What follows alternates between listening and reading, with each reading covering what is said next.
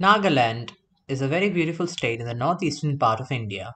It is renowned all over the world and in India for its natural beauty that surrounds it. The state has lots of greenery which is still untouched by the modern day urban pollution and has an ample amount of water, greenery, and lakes that enhances the state's beauty. The state's capital is Kohima, with the total area of the state being 16,575 kilometers square and with a population of 19 lakhs 80,602 as of 2011 census. Nagaland is divided into 11 districts and the names of these districts are displayed on the screen.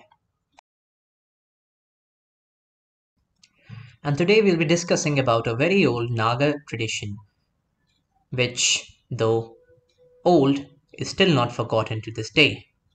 And that is the Naga tradition of headhunting.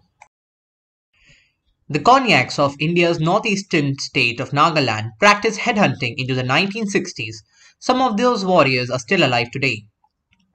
The Konyak warrior tribes is one of the many Naga tribes. But what sets them apart from the rest of the tribes of this northeastern state of India is their fierce headhunting history, which was part of their strong warrior tradition. Territorial conflicts between rival villages and tribes were resolved through warfare, and Konyaks were the most feared for their headhunting skills. They beheaded their enemies and brought back the severed head as trophies in a specially designed basket that they carried to the battles. The heads were then proudly displayed on the walls and doorways of the warriors.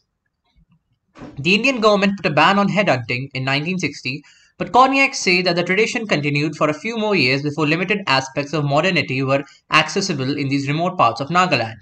The next generation of the Konyaks practically embraced a Baptist-based Christianity. In the remote villages of Nagaland's Mon district, which borders Myanmar, a motley band of elderly farmers and former warriors are still visible. The tattooed faces and torsos bear witness to mortal combat and the once customary headhunting. It was a tradition to honor the men with tattoos on their faces and chest as a mark of their heroic deeds. The elaborate process was done only by chieftain's wife.